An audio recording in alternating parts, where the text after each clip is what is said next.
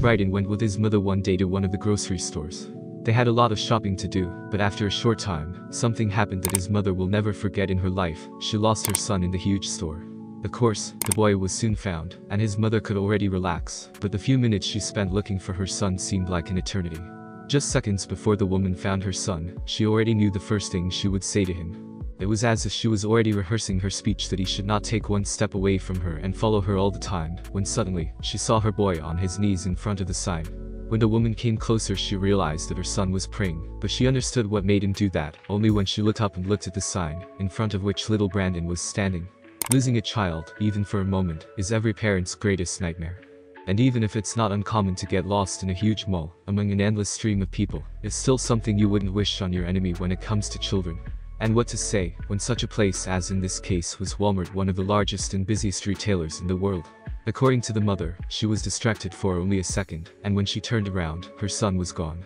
Yes, her son was quickly found, but when the woman found out what had happened, she was heartbroken and confused. She saw her son in front of a sign.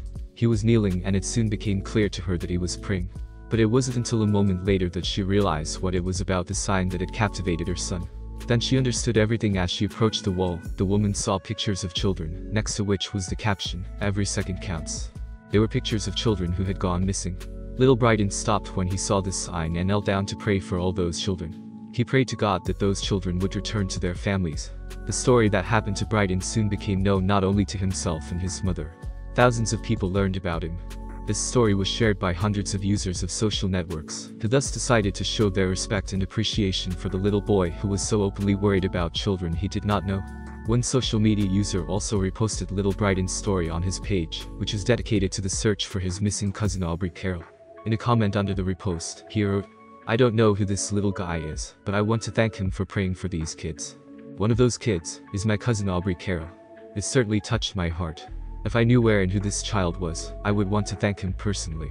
It's probably worth saying that since that time, little Brandon's story and his photo have been shared more than 115,000 times by web users.